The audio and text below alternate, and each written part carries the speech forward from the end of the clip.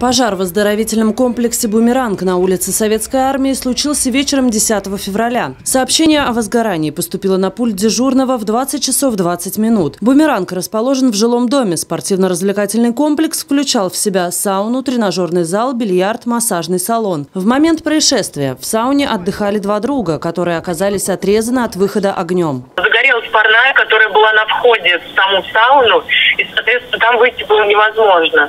Они там что-то и тушить даже пытались, а вылезти через окна сами они не могли, потому что окна были с решетками.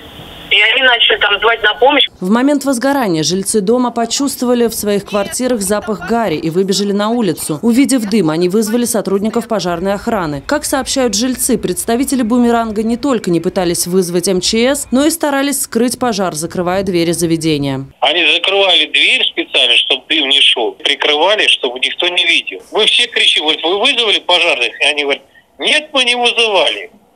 Это я собственными ушами слышал. Мы, жильцы, вызывали пожарный наряд. К моменту приезда пожарных стало понятно, что в загоревшемся помещении находятся люди. Местные жители также не остались равнодушными. Мой зять, мой зять э, помогал вытаскивать твоих людей через окно, через решетку. То есть вместе с пожарным. Помогал взломать решетку и вытащить оттуда двух людей отдыхающих.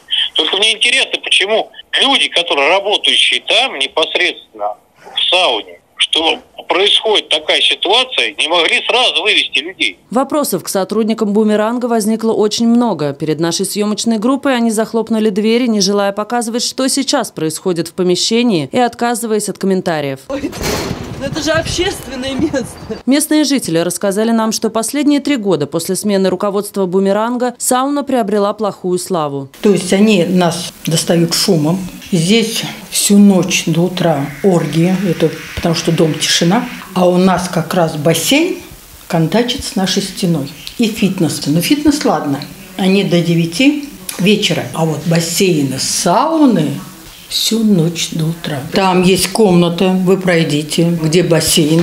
Бассейн и налево есть комната с кроватью шикарной. Вызывали милицию. Прокуратура сама приходила сюда к нам. Сотрудница, три года назад уволившаяся из «Бумеранга», рассказала, что раньше таких проблем в этом заведении не было. Был порядок. Каждую неделю у нас была генеральная уборка. Очень тщательно. Убирали на совесть со всеми чистящими, моющими. Там у них и такой специальный щетка плитку мыть. Бассейн бассейны проверялись, они вот эти и воду брали на пробу, и всегда эти таблетки там бросали. Нина Анатольевна отметила, что нареканий по пожарной безопасности в прошлом не возникало. Однако она замечала, что и раньше в Бумеранге были предпосылки для возникновения пожара. Все зависело от посетителей. Некоторые напьются там, значит, и даже курили э, в этих в саунах. Я думаю, что только от этого произойти могло. Пока сотрудникам МЧС только предстоит выяснить, из-за чего произошел пожар, который удалось ликвидировать ликвидировать через час после обращения в службу спасения. В 21 час 30 минут пожар был ликвидирован. Огнем повреждено помещение на площади 30 квадратных метров. Причина пожара и ущерб устанавливаются. На пожар выезжали и принимали участие в тушении 21 человек личного состава государственной противопожарной службы и 7 пожарных автомобилей. Один из пострадавших, 23-летний рязанец, в данный момент находится в БСМП. По словам родственников, его состояние стабильное. Молодого человека обещали выписать в ближайшие дни. Анна Герцовская, Станислав Кудряшов, телекомпания «Город».